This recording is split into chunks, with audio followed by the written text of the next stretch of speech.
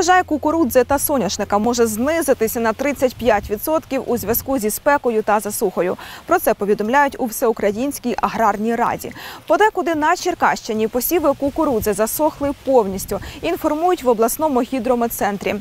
Як фермери рятують врожай від засухи за допомогою гідротехнічної меліорації, про це розкаже заступник директора СТОВ Дружба Артур Налбандян. Я вітаю вас, пане Артуре. Вітаю. Будь ласка, розкажіть, як впливає посуха і спека на якість ґрунтів і на майбутній урожай? Волога взагалі відіграє ключову таку роль і ключовим є лімітуючим фактором для врожайності сільськогосподарських культур. І з цим ми рок за роком починаємо вже стикатися, і з кожним роком все, все більше спеки, більша середня температура добова. І в результаті цього ми втрачаємо перший головний такий елемент це вологість ґрунту. Е, Вона знижується, в результаті чого культура не розвивається так, як то має бути. Вона не має доступу до мінеральних речовин, які знаходяться в ґрунті, тому що все одно провідником цього всього діла вона буде, буде волога. Також е, пос, коли ґрунт, верхній шар засихає, да, то ми стикаємося ще такою проблемою, як е, ерозія ґрунту. У нас е, все, все більше і більше такі сильніші стають вітра. Можливо, це якраз і пов'язано з такими перепадами температур. І верхній слой він певним чином здувається ось такими віт- вітрами сильними. Відповідно, чим більше він висихає, фракція стає дрібніша, схожа на пісок. Також е, важливим елементом, і сьогодні сучасна якби, агрономія багато звертає на це увагу, це така біологічна активність ґрунту. Дощові черв'ячки, наприклад, да, якщо такою дуже простою мовою, але то їх є різні види. І наскільки вони активні в верхньому шарі ґрунту, тим більше буде органічна речовина, і відповідно е, більший буде потенціал врожайності на полі. І от ця активність вона дуже пов'язана з рівнем вологозабезпечення в ґрунті. От на вашу думку, які культури найбільше потерпають від спеки? Соя має такий удар через е, високі, надвисокі температури. Але якщо ми повернемось там в 2020 рік, то тоді соя ще давала якийсь базовий урожай, але кукурузу багато сусідів, е, і ми в тому числі частково поля передісковували просто, тобто не збирали взагалі урожай. З цього року якраз і почалася історія меліорації в нашому господарстві, коли кукурудза повністю засохла, не утворила качана. Як ви вирішуєте це питання оптимального зволоження ґрунтів? На сьогодні це відбувається в ручному режимі. Тобто є агрономи, є люди, які відповідають за зрошення, які мають плани, там, наприклад, на 5-7 днів, скільки має бути опадів на полі, враховуючи природні опади, і також те, що ми робимо за допомогою дощувальних машин. Також е, є план певних агрооперацій, тобто, коли техніка заїжджає, і в цей момент ну, поле має бути сухе. Тобто коригується ще в залежності від агрооперацій. Але ми плануємо в майбутньому е, доопрацювати цей момент і поставити певні такі датчики, які е, вже будуть е, нам говорити про вологість ґрунту, вміст в певному шарі, в відсотковому співвідношенні. І в результаті, якщо ми поставимо там, наприклад, три таких датчика на поле, ми зможемо автономно вирішувати питання зрошення. Ви говорите, що забезпечуєте вологість ґрунту за допомогою дощувальних машин. І знаю, що здійснили модернізацію меліоративних систем. Як це відбувалося і що власне змінилося? Взагалі зрошення було на цих територіях, але то було досить давно. І наскільки я знаю, то з дев'ян- 90-х років десь воно перестало працювати в принципі. Потрошку потім е, зруйнували, десь рознесли чи викопали, в- забрали металеві труби, вивезли, продали їх.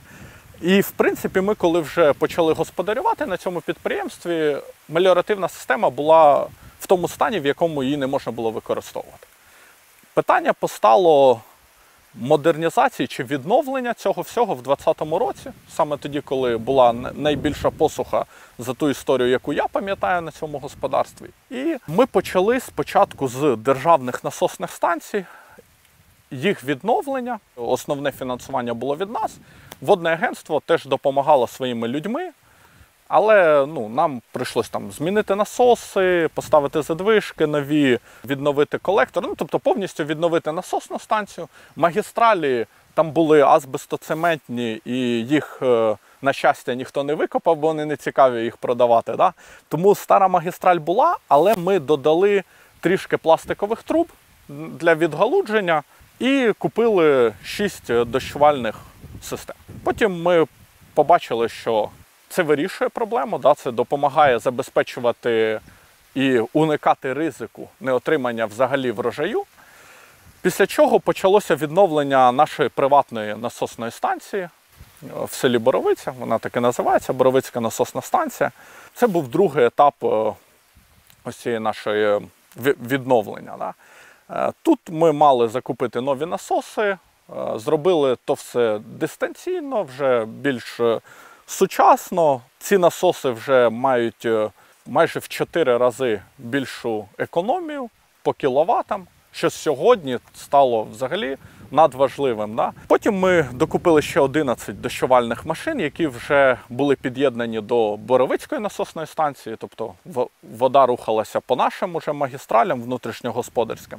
Наступним етапом стало співпраця з, з такою міжнародною організацією, як USAID Agro. Вони нам е, були готові допомогти і надали грант е, для відновлення Трущівської насосної станції. Але поки що, на жаль, державні органи не передають нам в приватну власність, і тому ми не можемо її модернізувати. Тому було прийнято рішення докупити ще дві дощувальні машини і три там крила до полива кутів. Крило до поливу котів дає змогу додати ще 100 метрів, які можуть відкриватися і закриватися в залежності від геометрії поля. Тобто, де, де вам потрібно, вона закривається повністю, потім, доходячи до діагоналі, вона потрошку-потрошку відкривається, кожна фасунка відпрацьовує окремо. І ну, таким чином ми там збільшуємо десь на 16% площу зрошення. Тому що кругова машина вона вписується в квадрат, і зрозуміло, що є кути, які не дозрошуються. Тому от е, така система вона трошки допомагає ще збільшити. Скажіть, будь ласка, дощувальна машина упродовж якого часу вона повинна зрошувати площу?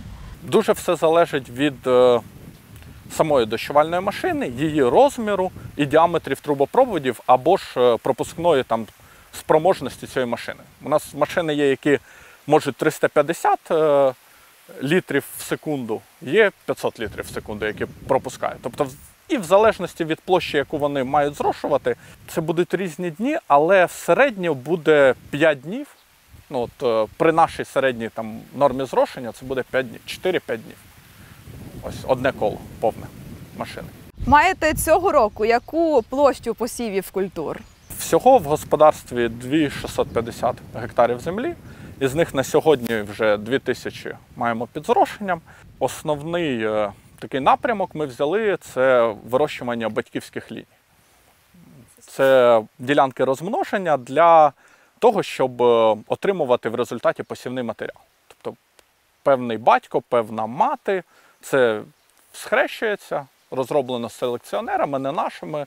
Це французька компанія, з якою ми співпрацюємо. В результаті ми отримуємо потомство, яке гарне до висівання. От е, для прикладу, цей гібрид, він, е, який на фоні да, у нас, він також таким чином, типу, отримується. І він має набагато вищий там, потенціал, і під певну зону потрібні різні гібриди. Тому такі ділянки розмноження. Зараз Україна ну, нарощує взагалі ці об'єми, але в зв'язку з війною трошки вже відбулося скорочення. Потім е, кукурудзу ми вирощуємо, ячмінь, пшеницю, сою. Соняшника товарного відмовились від нього через те, що він е, забирає багато поживних речовин е, з ґрунту. Дуже проблема потім падалиця того соняшника, з нею боротися. Він засмічує поля.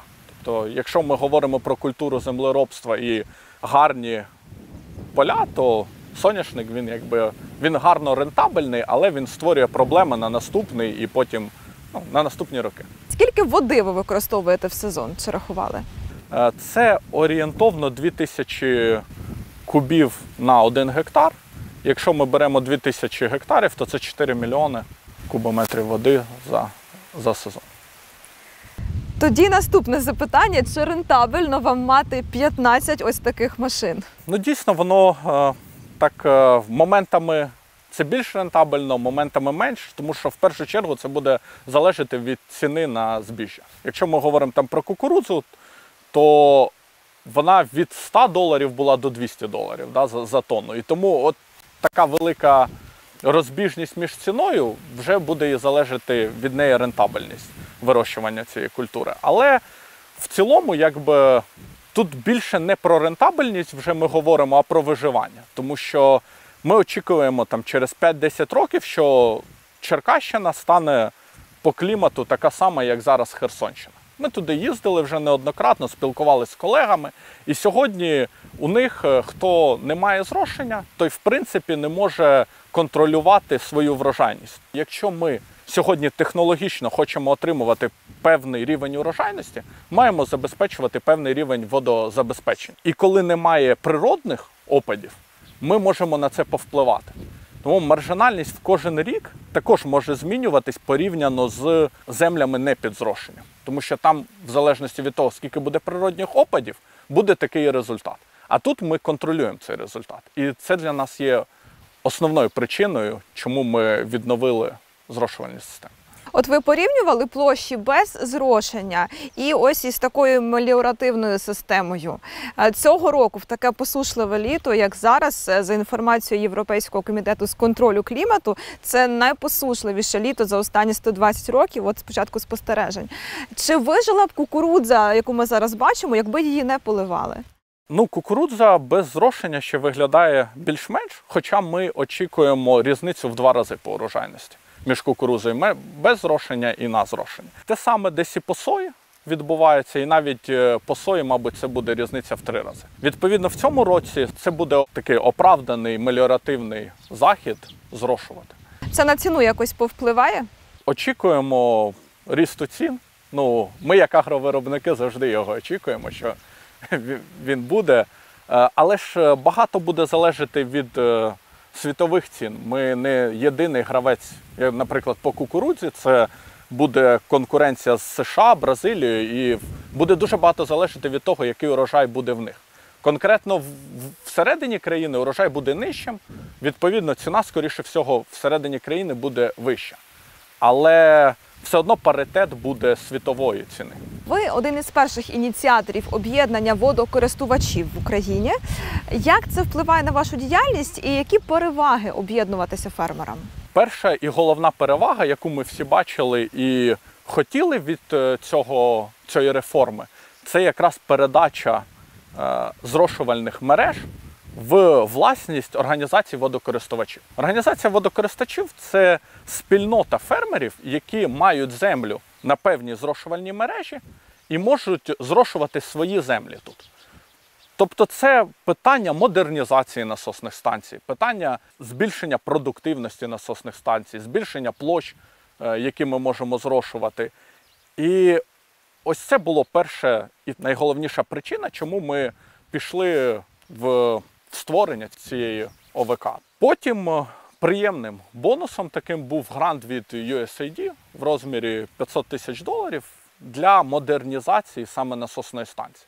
Але все воно зупинилося більше як на рік, тому що закон поки що не працює, держава не передає.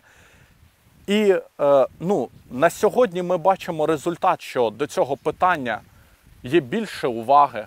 І, можливо, ось таким десь в якійсь мірі і разом з вами медійним поширенням ми зможемо звернути увагу на проблему меліорації і того, що це необхідно передати. Держава не може сьогодні забезпечувати той рівень модернізації чи взагалі вкладати кошти в модернізацію.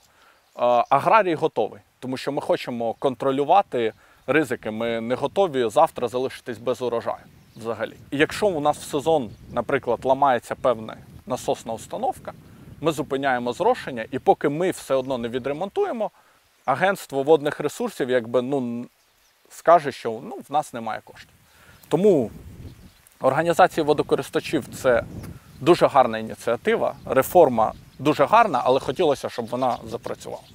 Але ж Мінагрополітики заявляє, що підтримує фермерів, зокрема щодо модернізації меліоративних систем. Відчуваєте державну підтримку? Так, дійсно, вони підтримують. е, Ну там є певний, певне обмеження бюджету да, в цьому, але ми, ми також отримали в, за результатами 2021 року, в 2022 році, е, якщо я не помиляюсь, 6 мільйонів гривень е, державної підтримки. Тобто там, там яка процедура? Ти спочатку сам робиш, відновлюєш, модернізуєш, да, потім держава компенсує певну вартість від твоєї затрати. Ну, у нас там це було щось в розмірі 20%, якщо я не помиляюся, при- приблизно. Тобто, так, да, є підтримка, і, і класно, що вона є. Ми вдячні за це.